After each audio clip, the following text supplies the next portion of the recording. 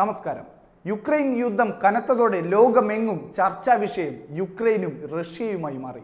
ലോകത്തിലെ ഏറ്റവും വലിയ രാജ്യമാണ് റഷ്യ. യൂറോപ്പിലും ഏഷ്യയിലുമായി സ്ഥിതി ചെയ്യുന്ന വമ്പൻ രാജ്യം. ഒട്ടേറെ കഥകളും കെട്ടുകഥകളും ചരിത്രവുമൊക്കെ ഈ രാജ്യത്തിനുണ്ട്. ഇപ്പോഴുള്ള റഷ്യ എട്ട് പതിറ്റാണ്ടുകളോളം സോവിയറ്റ് യൂണിയനായിരുന്നു. അതിനു മുൻപ് സാർ രാജവംശവും മറ്റ് അനവധി രാജവംശങ്ങളും റഷ്യ ഭരിച്ചു. ഭ്രമിപ്പിക്കുന്ന ഒട്ടേറെ കഥകളുള്ള രാജ്യം കൂടിയാണ് റഷ്യ. അത്തരമൊരു കഥ ഒരു വൻ നിധിയെക്കുറിച്ചാണ്. വെറും ഒരു കഥയല്ല ഇത്. നടന്ന സംഭവമാണെന്ന് പല ചരിത്രകാരന്മാരും പറയുന്നു. ഇതിലെ കഥാനായകൻ അതിപ്രശസ്തനാണ്. ഫ്രഞ്ച് ചക്രവർത്തിയായ നെപ്പോളിയൻ ബോണപ്പാർട്ട്. ഏകദേശം രണ്ടു നൂറ്റാണ്ട് മുൻപ് ആയിരത്തി എണ്ണൂറ്റി പന്ത്രണ്ടിൽ നെപ്പോളിയൻ റഷ്യയിൽ അധിനിവേശം നടത്തി അധികാരം പിടിച്ചെടുക്കാൻ നോക്കി.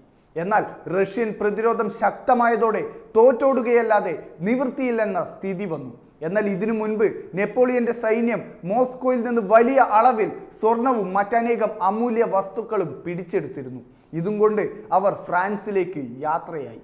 നെപ്പോളിയന്റെ സൈന്യവും അദ്ദേഹവും ഫ്രാൻസിൽ തിരിച്ചെത്തി. പക്ഷേ സ്വർണം എത്തിയിരുന്നില്ല. എന്തോ കാരണങ്ങൾ കൊണ്ട് നെപ്പോളിയനും സേനാംഗങ്ങളും നിധി റഷ്യയിൽ എവിടെയോ ഉപേക്ഷിച്ച് തിരിച്ചു വന്നെന്നായിരുന്നു പിന്നീട് ഇതേക്കുറിച്ച് ഉയർന്ന അഭ്യൂഹം.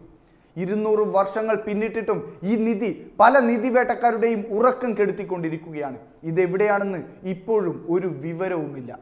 റഷ്യയിലെ സ്മോലൻസ്ക് മേഖലയിലുള്ള സെംലേവോ തടാകത്തിനടുത്താണ് ഈ നിധി ഉള്ളതെന്നായിരുന്നു ആദ്യമുയർന്ന അഭ്യൂഹം. ഈ സ്ഥലത്തിന് പേരിട്ടത് നെപ്പോളിയന്റെ വിശ്വസ്തനായ ഫിലിപ്പ് ഡി സെഗൂറാണ്.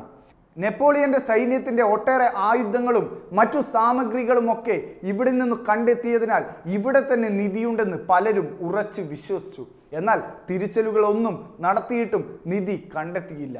സെംലേവോ ഒരു ട്രാപ്പാണെന്നും നിധിവേട്ടക്കാരുടെ വഴി തെറ്റിക്കാനുള്ള ബോധപൂർവമായ ശ്രമമാണെന്നും ചിലർ വിശ്വസിക്കുന്നു. നെപ്പോളിയൻ റഷ്യയിൽ നിന്ന് ഫ്രാൻസിലേക്ക് പോകവേ കടന്ന ബെറേസീന നദിയിലാണ് നിധി എന്നാണ് ചിലർ പറയുന്നത്.